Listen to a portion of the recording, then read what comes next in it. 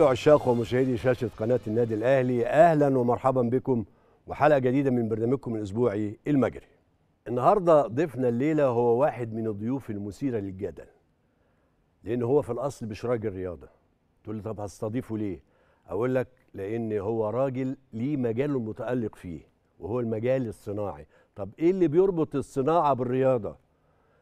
حتى في الصناعة بتاعته هو أصبح ماركة مسجلة وأصبح ليه مواصفات وقيمته وسمعته في السوق المصرية وغير المصرية حاجة بسم الله ما شاء الله ربنا يكرم. وهو كثف بالصناعة بتاعته. وبعدين آه، بعد ما كثف الصناعة بتاعته هل الرياضة جذبته ليه؟ هل هو آه، ال- ال- الرياضة أو الصناعة عرف يم- يم- يمجد الاثنين في بعض؟ آه، حاجة حاجات غريبة قوي يعني. لكن لما تبص لضيفنا النهارده وإحنا بنتكلم معاه وفي مجاله سواء ال- الصناعي هتلاقيه بيعشق الرياضة.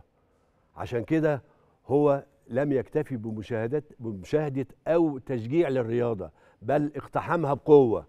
من خلال آه، سباقات الخيل برئاسة الهيئة العليا لسباق الخيل تولاها يعني ثم تولى رئاسة نادي الجياد ودخل بقوة على بعد كده على نادي سموحة. هتقول لي هو الضيف ده؟ هقول لك لا لسه.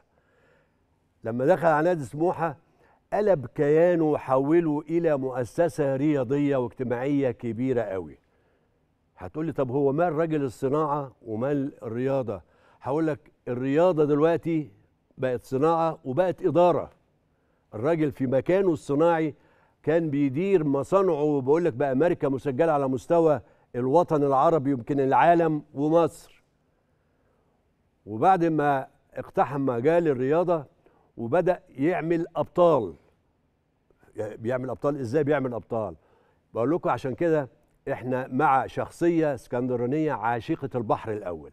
فيها صفات وأهمها العطاء بقوة والإنتاج الكبير في كرة القدم. طب هل كرة القدم ضلته عن الاهتمام بصناعته؟ لا ده بالعكس اهتمامه بالألعاب الأخرى غير الصناعة ودخل في رياضه صنع فريق كورة بالنادي سموحة وحقق بيه نتائج كانت غير متوقعة. واللعبة لم تكن قوية في النادي لما جه هو غير من شكل النادي ومن شكل الفرقة اهتم بكرة القدم. هل اهتم بكرة القدم وباقي الألعاب التانية؟ عشان كرة القدم هي الرونق وهي اللي عليها سبوت باستمرار. هقول لك لا ده عمل بعد كده كوادر موجودة داخل نادي آه سموحة. الكوادر دي لمين؟ دي لمصر عمل نجوم كتير جدا في جميع الألعاب المختلفة سواء الألعاب الجماعية أو الألعاب الفردية. هو مش مجرد فريق اللي عمله ده ما كانش. كان مجرد كومبارس في فريق كرة القدم في على مستوى ال- الكبار في في مصر هنا. لحد ما وصل فيها اشتغل. بقول لكم ال- الرياضة بقت علم. الرياضة بقت علم. وصل في بعض الفترات الفرقة دي إلى منصات التتويج. طبعا ال- ال- الرياضة فيها حظ فيها مكسب وفيها خسارة. هو حظه كان وحش شوية في التتويج كان وكان قريب جدا من بطولة كان أحق بيها. لكن احترامه للجميع لم يكتفي بذلك بل عمل في مجال كرة القدم مثل الجواهرجي. تقول لي آه زي الجواهرجي.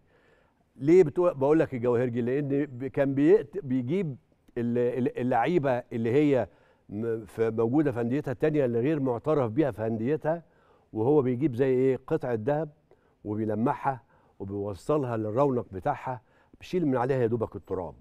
وبعد كده بيبدأ يهتم بيها بيبدأ بي- بيجهزه كويس بيبدأ يعده كويس من النادي بتاعه اللي هو بياخده سواء إعارة أو بيع وبيبيعه بعد كده بثمن عالي جدا جدا جدا.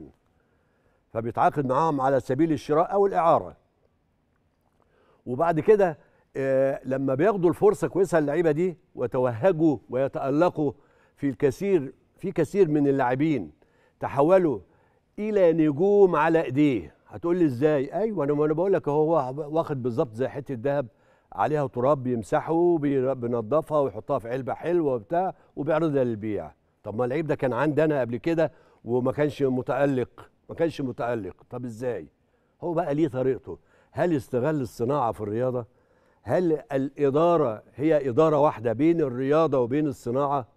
عشان كده هو اتحول إلى تاجر للبيع بيشتري وبيحقق مكاسب كبيرة وحدث كتير قوي قوي قوي. وهو طبعا مش عاوز أحرق الكلام ده كله لأن هو عنده حاجات كتيرة جدا. مش بقول لكم هو شخصية مختلفة. النهارده ضيفنا لما هنتكلم معاه هو بعض الناس تقول لك إيه هو آه بيعشق النادي الأهلي. أنا ما أنا برضه هنسأله هل فعلا هو بيعشق النادي الأهلي؟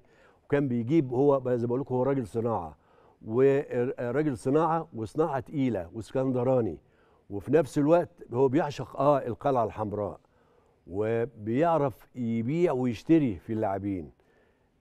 خلق من نادي سموحة حاجات كتيرة جدا. الله طيب ما هو اشمعنى في اسكندرية ما راحش النادي الأولمبي أو الاتحاد أو نادي سبورتنج؟ ليه ما راحش كده الأندية دي؟ والأندية دي أصلا كانت كبيره لا هو راح للنادي مغمور وطلعه معاه وفضل معاه لحد ما خلاه بقى نادي ليه كيان على مستوى الرياضة المصرية وحقق بيه نتائج وحظه وحش في بعض الـ finals مع فرق الأهلي أو الزمالك.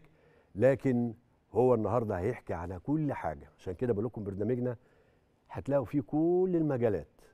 النهارده بنرحب بضيفنا المهندس فرج عامر اللي هيكون ليه حاجات مختلفة ومثيرة جدا.